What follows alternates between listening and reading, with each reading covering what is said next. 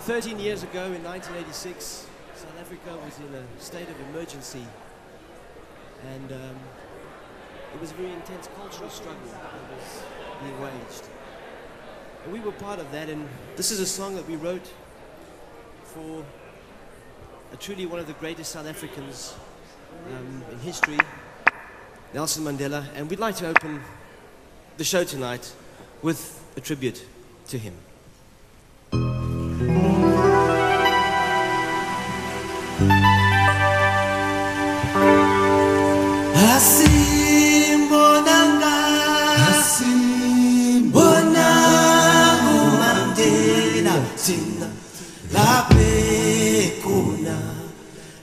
Evangélico.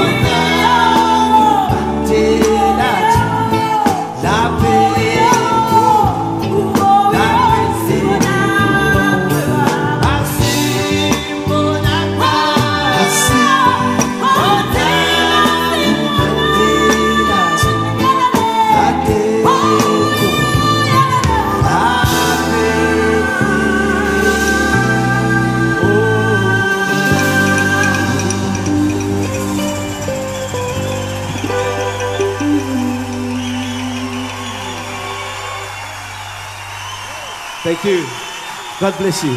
Thank you. want to say anything? You want to say anything?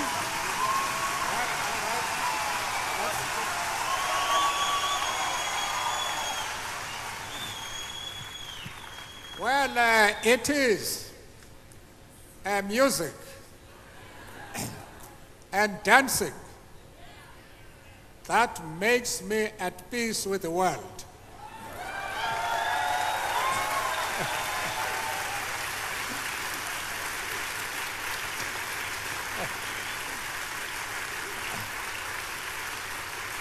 And and at peace with myself. But I don't see much movement at the back there, you know? I would like us to join. Let's just repeat. Let's just repeat it. Okay. Let's all join.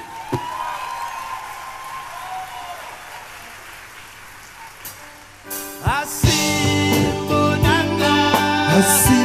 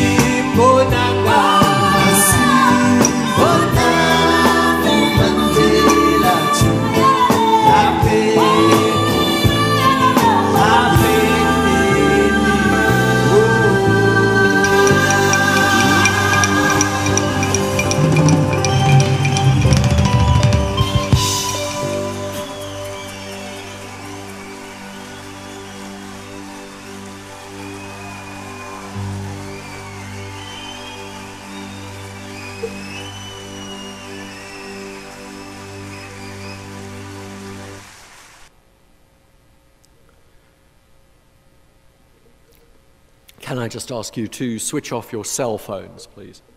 Um, I would like, on behalf of ALST, the program in Africana and Latin American Studies, and its director, Professor Brian Moore, to welcome you to this gathering. We are here today to celebrate, I said I would choke up, the life of Nelson Rolihlahla Mandela. He was known to South Africans by his clan name Madiba. Though I think a number of us may shed a tear, we emphasize celebration. South Africans have literally been dancing in the streets over the last week. They know that Mandela, in his 95 years, has lived a life which, hard as it was, was fuller than any other. Ultimately, he redeemed his country and he gave great gifts to the whole world. Madiba's international impact has been extraordinary. Over the last week, people all over the world have been putting forward their own versions of him, and that, in a way, is to be welcomed. It is wonderful that so many can draw inspiration from one man. But I also realize that, like everyone else, I can only offer my own version of Mandela. And so, by way of introduction, I'm going to give you just my own fragmented thoughts and feelings on why I personally celebrate this great man. I celebrate my own memories of Madiba at the FNB Stadium in Johannesburg in 1990, watching him stride into the sunshine just a few days after he had been released, surrounded by his old comrades, while ancient jazzmen played the swing music of his youth at his inauguration as president at the Union Buildings in 1994, when we in the crowd below could only see him on the giant video screen, but the planes flew past and hope was limitless. At a Johannesburg synagogue in the mid 1990s, when the warmth of his presence filled the room and won over his audience. I celebrate Madiba, who dreamed of a different world, who was born a subject of the empire on which the sun never set, and who saw the sun set on it, who constantly believed in the apparently impossible task of ending a mighty tyranny and who brought that tyranny to its knees, whose life tells us never to listen when we are told that a world more just is impossible. I celebrate Madiba, the young leader, speaking at meetings, handsome in his greatcoat on Johannesburg Town Hall steps, the man of rallies at Freedom Square, Sophiatown, where the houses would be demolished and the people driven away in trucks, leading the boycotts, burning his pass in a little, yellow, in little metal pot, Madiba in the cage at Joburg Drill Hall, cheerfully facing four years of the treason trial. I celebrate the courage of Madiba who took up arms, his ragtag army against a military power the homemade bombs bringing down power pylons, his struggle to subject the methods of war to an ethical accounting, and his commitment to protect civilians, his clandestine journeys through Africa and his underground life, his calm willingness to face death. I celebrate Madiba, the prisoner, who led the convicts, who confronted and faced down intransigent warders and made friendships with others who exercised every day in his cell, who studied in the University of Robben Island, who looked across the cold waters of the bay towards Table Mountain. I celebrate Madiba, who loved the land, a small boy, a cattle herd, growing up in the green lands where, as the poet says, the road runs down to the sea and the hills are lovely beyond all the singing of it, who talked in his inaugural address of how South Africans are united by the love of the land, in words that even now make me think of yellow grass rustling in a thin wind under a pale sky. I celebrate Madiba who made the peace, not by weakness but by unbroken strength, who started negotiations from prison despite the opposition of his friends who recognized the humanity of his opponents and won them over, but never by bending his principles. I celebrate Mandela, the organizer, the most innovative of leaders, who always talked of himself as a member of a movement, of an organization, who led the chant at meetings, Amandla, power, and the crowd would respond, Nawetu, it is ours. Who constantly taught us even the greatest leader cannot change things on his own. Who was a man for the trade unions, for the community organizations, for the student movements, for the cultural groups, who came to recognize that there lay, there lay the force that would bring down the regime. And whose life reminds us that here and now, in this apparently unchanging world, that the power to change things is indeed ours when and if people come together.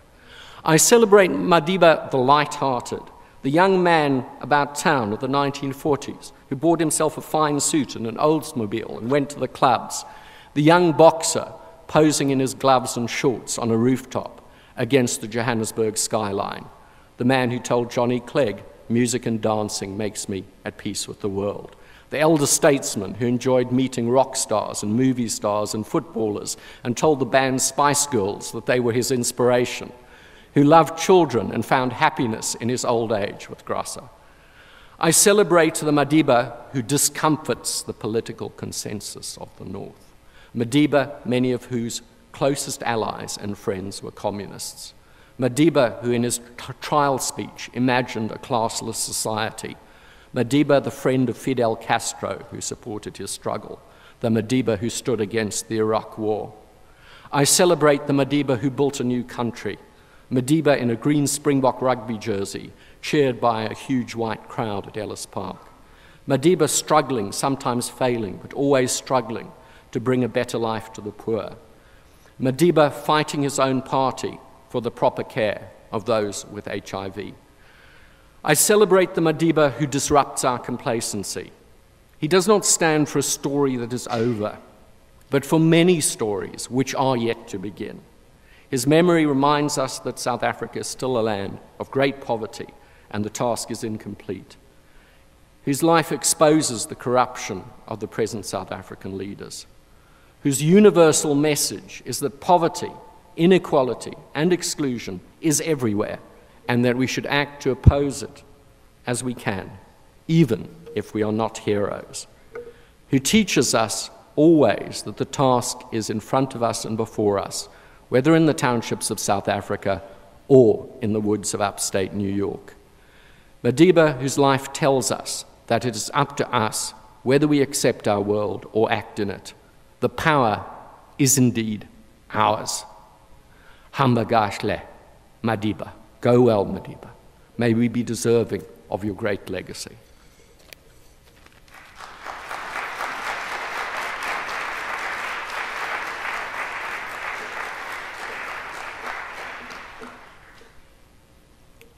Nelson Mandela was arrested in 1962 and was put on trial in 1964 on charges of treason, which carried the death penalty. In his great speech at the so called Rivonia trial, he set out to give so explanation of who he was and what he stood for. This is what he said. I am the first accused. I hold a bachelor's degree in arts and practiced as an attorney in Johannesburg for a number of years in partnership with Oliver Tambo. I am a convicted prisoner, serving five years for leaving the country without permit and for inciting people to go on strike at the end of May 1961. At the outset, I want to say that the suggestion made by the state in its opening that the struggle in South Africa is under the influence of foreigners or communists is wholly incorrect. I have done whatever I did, both as an individual and as a leader of my people. Because of my experience in South Africa and my own proudly felt African background, and not because of what any outsider might have said. In my youth in Transkei, to the elders of my tribe, I listened to the elders of my tribe, telling stories of the old days. Among, amongst the tales they related to me were those of wars fought by our ancestors in defense of the fatherland.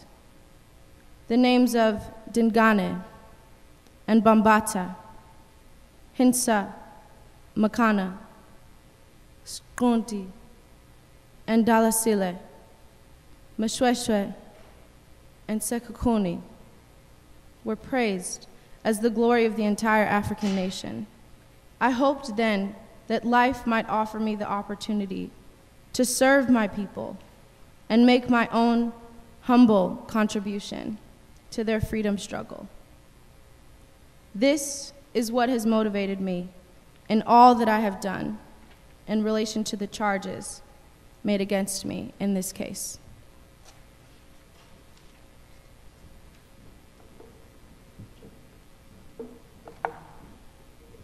In his speech, Mandela sought to explain why he and his movement had resorted to armed struggle against the apartheid government. He emphasized that while the ANC had initially sought to undertake passive resistance, they had been met with brutal acts of violence.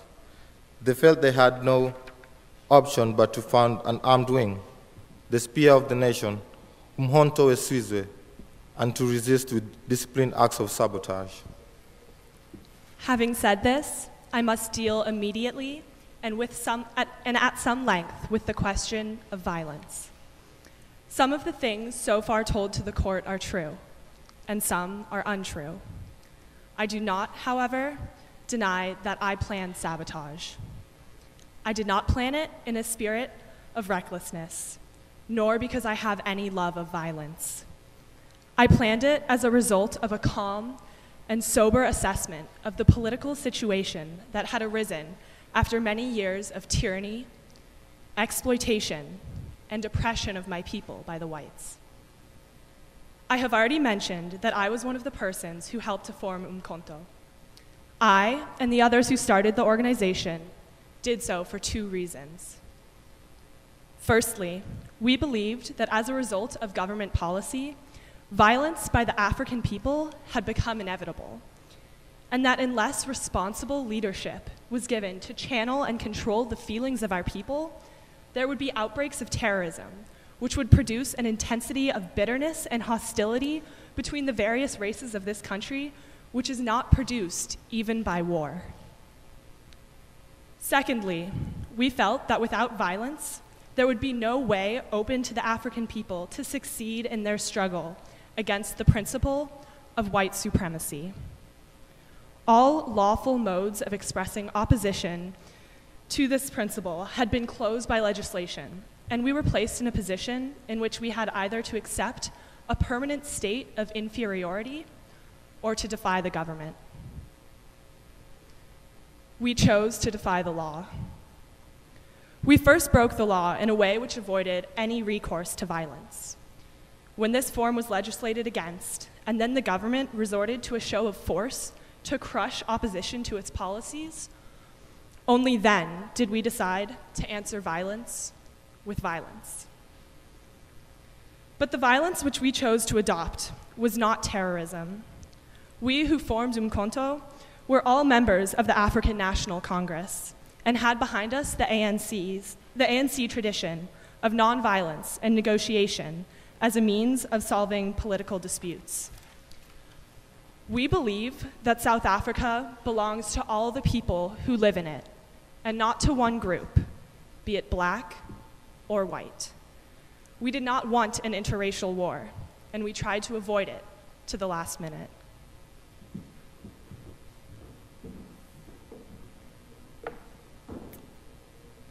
At the conclusion of his speech, Mandela highlighted his concern for the material suffering and poverty that the apartheid regime inflicted on black South Africans.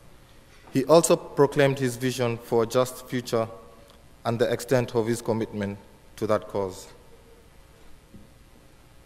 Africans want to be paid a living wage. Africans want to, be, to perform work which they are capable of doing and not work which the government declares them to be capable of.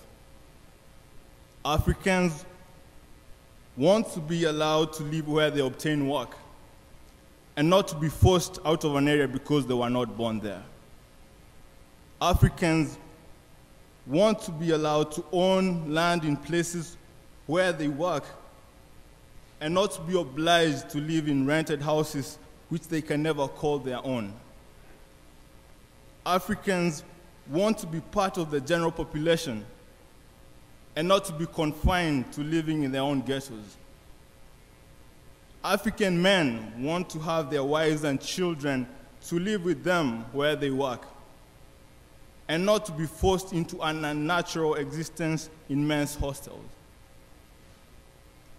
African women want to be with their men folk and not to be left permanently widowed in the reserves. Africans want to be allowed out after 11 o'clock at night and not to be confined to their rooms like little children. Africans want to be allowed to travel in their own country and to seek work where they want to, and not where the labor bureau tells them to. Africans want a just share in the whole of South Africa. They want security and a stake in society. Above all, we want equal political rights because without them, our disabilities will be permanent. I know this sounds revolutionary to the whites in this country because the majority of voters will be Africans. This makes the white man fear democracy. But this fear cannot be allowed to stand in the only the only way, the only solution which will guarantee racial harmony and freedom for all. It is not true that the enfranchisement of all will result in racial domination. Political division based on color is entirely artificial, and when it disappears, so will the domination of one color group by another. The ANC has spent half a century fighting against racialism. When it triumphs, it will not change that policy. This, then, is what the ANC is fighting. Their struggle is a truly national one. It is a struggle of the African people, inspired by their own suffering and their own experience. It is a struggle for the right to live. During my lifetime, I have dedicated myself to this struggle of the African people. I have fought against white domination and I have fought against black domination. I have cherished the ideal of a democratic and free society in which all persons live together in harmony and with equal opportunities. It is an ideal which I hope to live for and to achieve. But if needs be, it is an ideal for which I am prepared to die.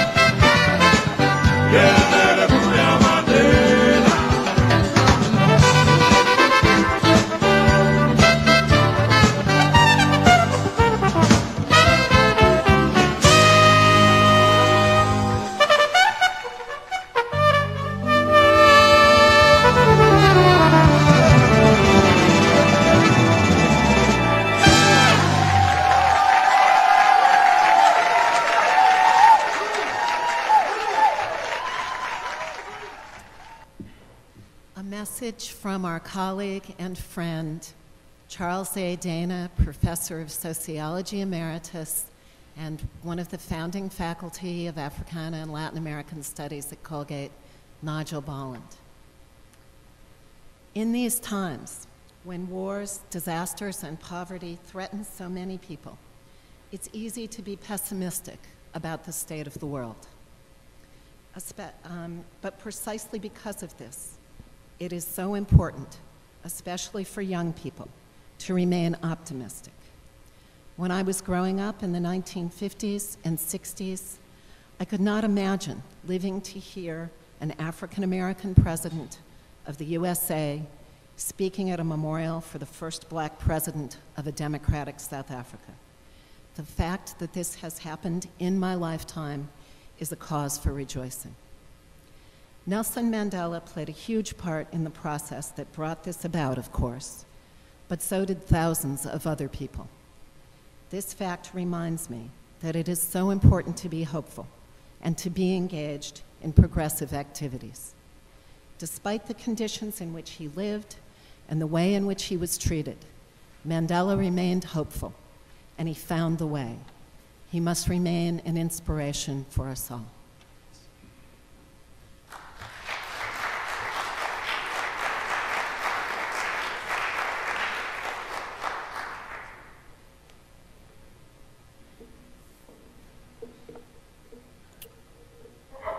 From the mid 1970s and through the 1980s, a broad based alliance of South Africans rose up in revolt and protest against the apartheid. This was met with brutality from government forces. Allied to international diplomatic and economic pressure, the anti apartheid movements within South Africa succeeded in making apartheid unattainable. In 1989, the last apartheid era president, F.W. de Klerk, announced the legalization of banned anti apartheid organizations and the unconditional release of all pol- political prisoners. Mandela, who had initiated negotiations with the government from prison, was released after 27 years of incarceration. Formal negotiation began. Despite many setbacks and the country's tenuous calm being inter- interrupted and threatened by surges of violence, in the end, a political agreement was made. South Africa would be ruled by a government of national unity. And when free, fair, and inclusive elections were held in April of 1994, Nelson Mandela, the leader of the African National Congress, became the president. In his inaugural speech, which he gave on May 10, 1994, Mandela addressed the South African people. He both celebrated the political rights to which all South Africans were now entitled and proclaimed his keen awareness that great work of the future would involve social, economic, and cultural redress. All South Africans deserved a better life. The following is an excerpt version of that address. Today, all of us do, by our presence here and by celebrations in other parts of our country and the world, confer glory and hope eh, to newborn liberty. Out of the experience of an extraordinary human disaster that lasted too long, must be born a society of which all humanity must be proud. Our daily deeds as ordinary South Africans must produce an actual South African reality that will reinforce humans, humanity's belief in justice, strengthen its confidence in the nobility of the human soul, and sustain all our hopes for a glorious life for all. All this we owe both to ourselves and to the people of the world who are so well represented here today. To my compatriots, I have no hesitation in saying that each one of you is, is as intimately attached to the soil of this beautiful country as are the famous jacaranda trees of Pretoria and the mimosa trees of the bushveld. Each time one of us touches the soil of this land, we feel a sense of personal renewal. The national mood changes as the seasons change. We are moved by a sense of joy and exhilaration when the grass turns green and the flowers bloom. That spirit and physical oneness we all share with this common homeland explains the depth of the pain we all carried in our hearts as we saw our country tear itself apart in a terrible conflict, and as we saw it spanned, outlawed, and isolated by the peoples of the world, precisely because it had become the universal base of the pernicious ideology and practice of racism and racial oppression. We, the people of South Africa, feel fulfilled that humanity has taken us back into its bosom, and that we, who were outlaws not so long ago, have today been given the rare privilege to be host to the nations of the world on our own soil. The time for the healing of the, world, of the wounds has come. The moment to bridge the chasms that divide us has come. The time to build is upon us. We have, at last, achieved our political emancipation. We pledge ourselves to liberate all our people from the continuing bondage of poverty, deprivation, suffering, gender, and other discrimination. We succeeded to take our last steps to freedom in conditions of relative peace. We commit ourselves to the construction of complete, just, and lasting peace. We have triumphed in the effort to implant hope in the breasts of the millions of our people. We enter into a covenant that we shall build the society in which all South Africans, both black and white, will be able to walk tall without any fear in their hearts, assured of their inalienable right to human dignity. A rainbow, nation at peace with itself and the world.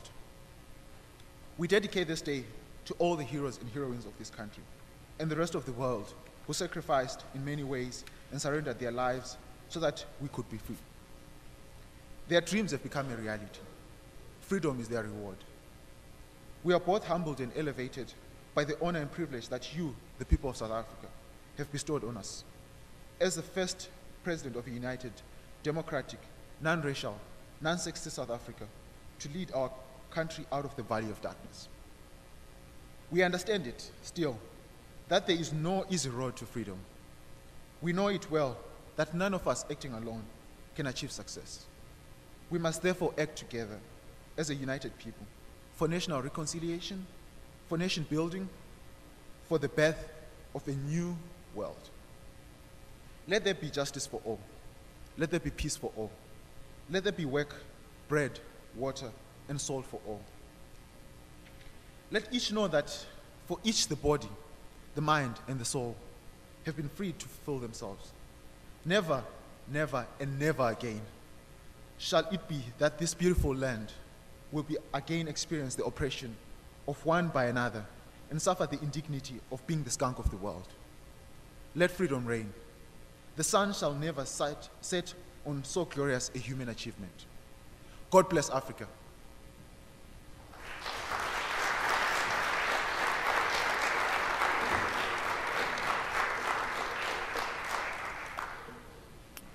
We now welcome President Herbst to deliver his address.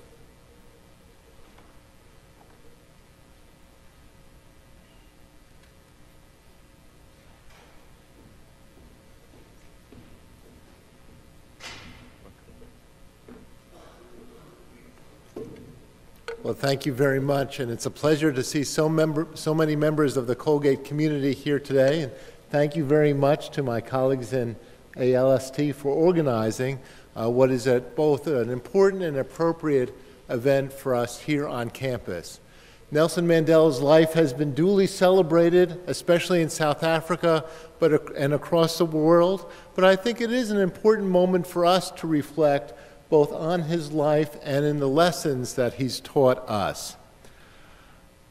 I had the opportunity, have had the opportunity to visit and travel and live in South Africa since 1987 when I went for the first time at the very height of what might be called both grand apartheid and the protests against it. And in the subsequent 25 years, I've seen how the country has and has not changed, and most of all, the impact of Mandela on an entire society, on a continent, and indeed the world.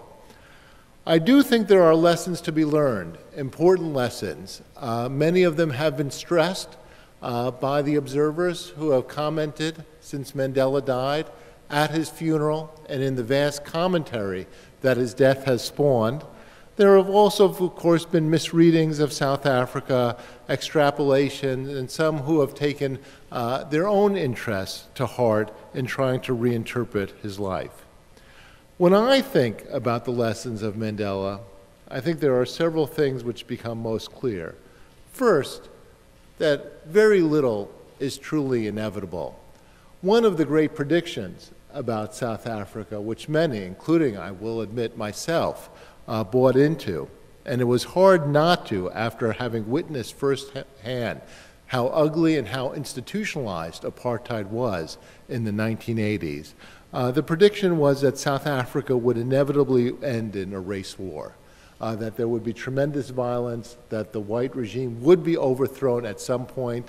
There were a few who thought it was a permanent reality, uh, but that it would take incredible amounts of violence both violence from the black population and the resistance from the white government before that eventuality occurred.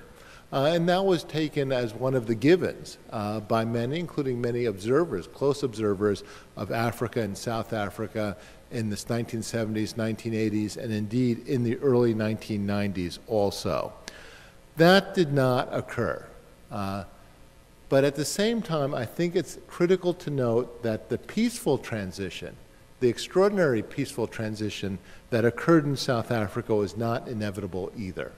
It came about most, uh, mostly due to the fact of Mandela's own leadership and his gravitas, also because he had a partner in de Klerk who was willing to work with him, and because the national and international scene had changed just enough and the planets had aligned so that it was possible for the South Africans to construct their own settlement, which would allow them a peaceful future. So nothing is inevitable. And at the same time, it's critical to note, and it was a pleasure to note that the South African ambassador to the United States was here a few weeks ago, that this was very much a settlement by the South Africans themselves. Certainly, a great many people were involved in South Africa there was tremendous resistance to apartheid internationally, but there was no international mediator. At the end of the day, this was a settlement that the South Africans came to themselves, and I would argue could only have come from themselves. I think Mandela's life finally teaches us that it is critical in these moments of deep political conflict to have profound principles that principles that guide leaders such as Mandela are absolutely critical not only for their own actions, but to explain to their followers what is happening. And at the same time, it is equally important to be aware of what is negotiable. Mandela's life stands out in part because he held true to a fundamental principle his belief that South Africa should be unified and uh, have one person, one vote. After that, almost everything else was negotiable and, in fact, was negotiated. But those principles he held did not waver from, and at the same time recognized that much else could be negotiated. What's striking about Mandela's life and rhetoric is that what he was saying when he went into prison in the early 1960s and what he said when he left prison in 1990 were fundamentally the same. That though the world had not heard from him because he was imprisoned with very little communication except for the occasional smuggled communique, what the world heard from him in the early 1960s about his desire for a unified South Africa where no group would oppress another was exactly what he said in February of 1990 in Cape Town. Given what had happened to him, the long, extraordinary imprisonment, the separation from his family, the separation from his friends, and indeed from the world, conditions which would have forced bitterness upon so many people, that continuity in and of itself was extraordinary and it was noted by many in South Africa at the time. Mandela, of course, even before he had gone to prison in the 1960s, had already traveled a long path. He had been a communist and a black nationalist and many other things, positions which he thought would advance his ultimate goal of a unified South Africa without racial discrimination. But while those positions came and went, in the end, his true guiding stars were immutable. When he came out of prison in 1990, although it's hard to imagine this now, it was not clear that Nelson Mandela would actually be the leader of South Africa. Uh, he had been away a very long time. A generation had grown up knowing of him in theory, but not in reality. And there were other younger, seemingly more vibrant leaders who might, in fact, lead the transition. Due to his own history, his own gravitas, his own political skills, well honed, he was able to very quickly, however, assert himself as leader, as leader of the opposition. And in those extraordinary years between 1990, when he was released, and 1994, when South Africa had the first non racial election, as the co leader of the government. I remember when living in South Africa in 1992 and 1993, uh, the day when Chris Hani, who was the head of the South African Communist Party, um, was killed, assassinated. That was an extraordinary moment. Hani was a very popular leader, and um, there were a great many who feared that his assassination uh, by whites would lead the country to the race war that so many had predicted and that would upend the transition, which still seemed tenuous at that point. That night, both Mandela and de Klerk went on television and urged their supporters and the country as a whole to continue along the road of transition negotiated transition, no matter what the bitterness they felt. It was an extraordinary moment uh, where Mandela, exerting his personal gravitas, his personal leadership, managed with de Klerk uh, to write a transition which could have floundered right then. One of the extraordinary things about Mandela as a political leader was he re recognized that he had, ha that he had an opposition and that he would continue to have an opposition during the transition and after he ruled. And that if he was going to negotiate with that opposition, not only the grand bargain, which read, led to the first non racial election in 1994, but after that, that they would have to be respected and in some ways built up.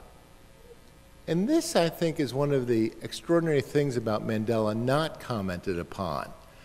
At various moments in the transition and as president, he took steps not only to work with the opposition, the white opposition, but to strengthen it so that they would, in fact, be in a position to be partners with him.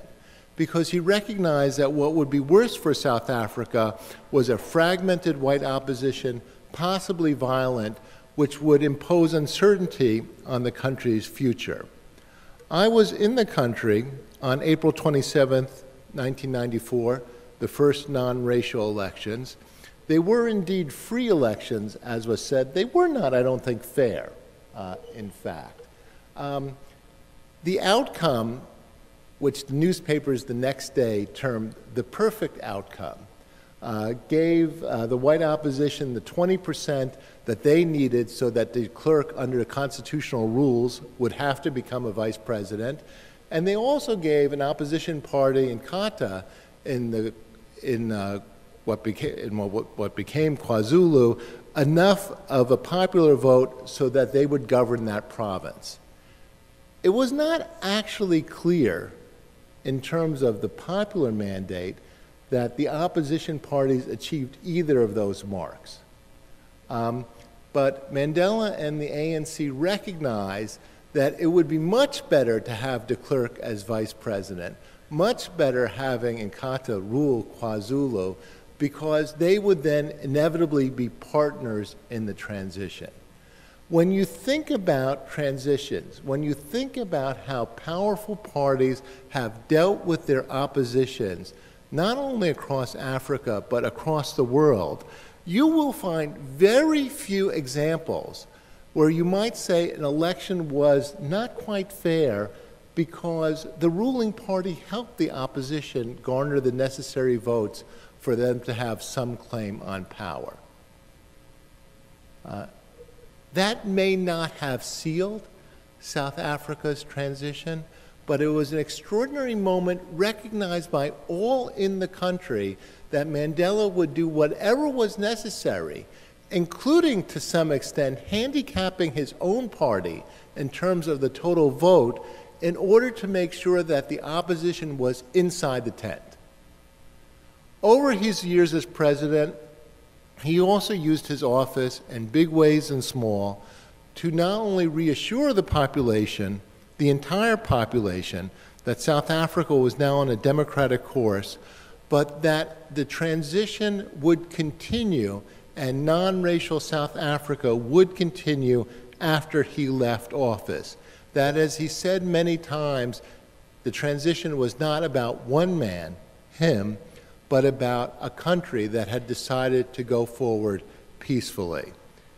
In that regard, his decision to leave office after only one term, he was allowed two under the Constitution, um, even though he was obviously, absolutely guaranteed of another term if he wanted it, was an important moment in South Africa's post apartheid history because it declared that Mandela who had a personal popularity, which is extraordinary among both blacks and whites, was confident enough about the future of their country that he could step aside and let others take the reign. And it also showed the power of the nascent South African democratic institutions. Again, if you look far and wide, not only in Africa but across the world, you will find very few examples of when a leader who was guaranteed a further stay in office by popular mandate and was allowed to under the Constitution nonetheless said, No, I will step aside so that others can rule, so that my country can continue down this extraordinary path. As has been pointed out on occasion, Mandela was not perfect. While his time as president was ultimately a success, there were problems. He did not, as he himself would later note, pay enough attention early enough on to the AIDS crisis in South Africa, which would eventually kill hundreds of thousands of South Africans needlessly. He turned a blind eye, perhaps too often, uh, to the growing problems in the educational system in the country and failed to do what was necessary to create a first class educational system in the country. And perhaps he was at times too understanding of some of the personal failings of his colleagues around him, especially when it came to corruption. These point to the fact that he was a man, a leader, who had to make decisions, who had to make trade offs, but who never wavered from his fundamental principle that South Africa should emerge under and continue to be ruled through a non racial system. Indeed, everything else was negotiated. Between 1990 and 1994, truth be told, if you had looked at where Mandela spent his time, who he spent time talking with, where his greatest problems were, it was not with the white opposition. He and de Klerk had come to an agreement, consciously or unconsciously, stated or unstated, relatively early on after he was released about what the settlement would look like. And then there would be years of negotiation to work out the details. Mandela's real challenge after 1990 was to convince his own supporters that this was a deal. Great promises had been made to the oppressed black population in South Africa about what would happen after apartheid fell. It was said that there would be Nuremberg type trials where the leaders of white South Africa would be tried and perhaps executed for their crimes. It was said that there would be a massive redistribution of resources in the country so that the poverty that overwhelmingly afflicted the African population would be alleviated and that there would be no further rule, role for whites in society. Mandela had to convince his own supporters, his own constituencies that had worked so hard for his release that these would either not come about at all or would happen very slowly indeed. In fact, there would be no Nuremberg type trials for South Africa's white leaders. Uh, there was a process of through the Truth and Reconciliation Commission, which most of the white leaders did not avail themselves to, and they were not tried for their crimes nonetheless.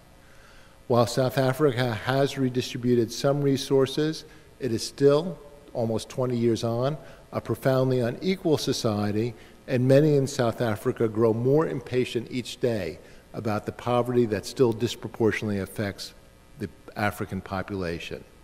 But Mandela was able to describe a vision where his major principles, a unified South Africa, one person, one vote, was attractive enough so that those many promises, explicit or implicit, could be delayed for the majority of the population.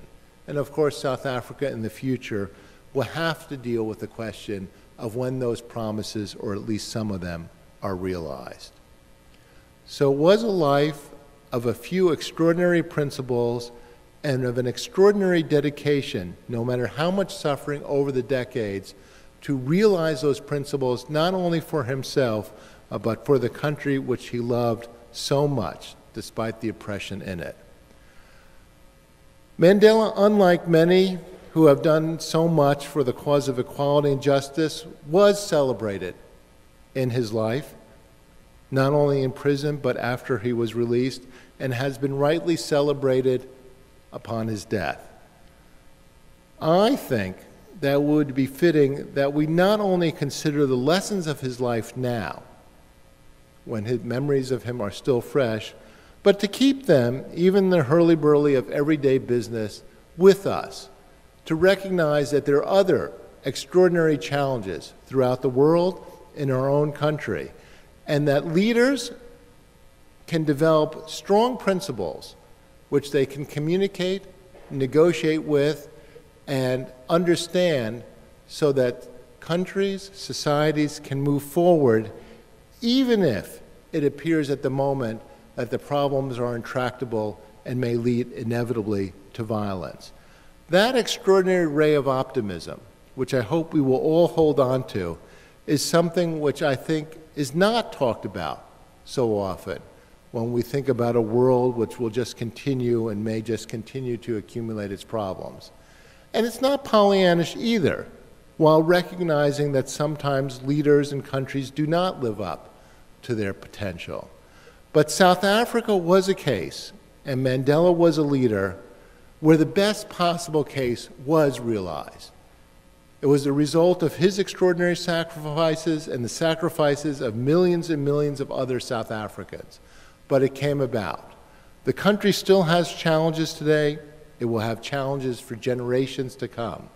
But it is in a far better place than most anyone would have predicted 25 or 30 years ago. For that lesson, a lesson that applies to South Africa, to the world, and to our own country, I truly believe that we are in the debt of Nelson Mandela. Thank you so much for coming out today, and I hope we can continue to give thought to the man and the life you led.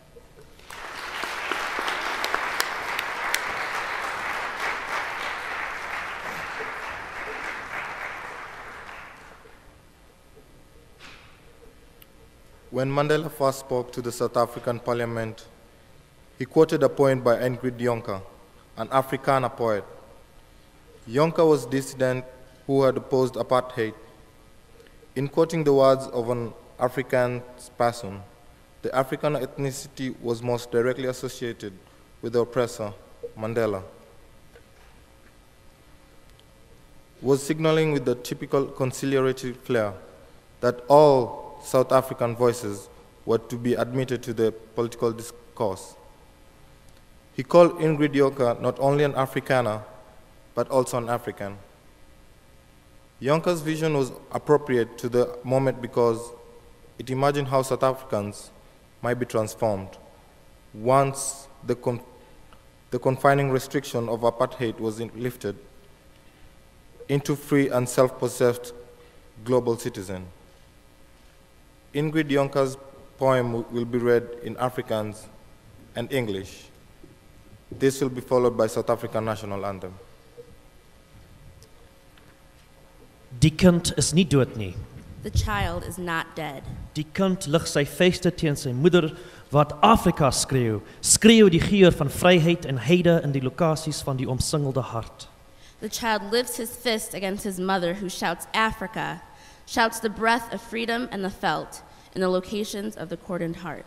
Die kind lig sy vuiste teen sy vader in die optog van die generasies wat Afrika skreeu, skreeu die geur van die van geregtigheid en bloed in die strate van sy gewapende trots.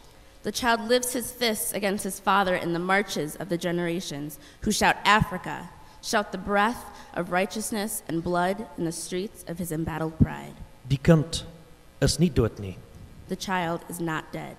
Nog by Langa, nog by Nyanga, nog by Orlando, nog by Sharpeville, nog by die polisiestasie in Philippi, Not in Langa, nor in Nyanga, not in Orlando, nor in Sharpeville, nor in the police station in Philippi, waar hy lê met 'n koel deur sy kop. where he lies with a bullet through his brain. Die kind is die skaduwee van van die soldate op wag met gewere, sarasene en knippels. The child is the dark shadow of the soldiers on guard with rifles, Saracens, and batons. Die kind is teenwoordig by alle vergaderings en wetgewings. The child is present at all assemblies and lawgivings.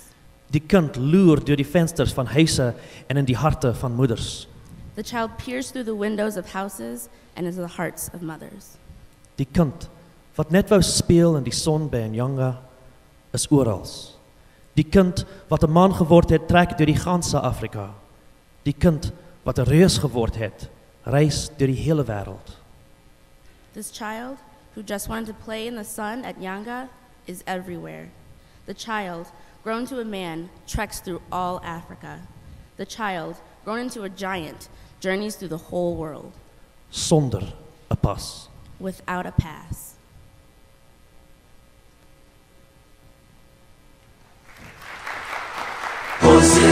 Usisileleni Afrika Maluka Yesu Kondorayo Kiswahili tangazo yetu Lucia della Cina, Luis Apolloaio, Luce la voluta si chiama Saesu, Luce di Sevincio all'Imma Sveglia,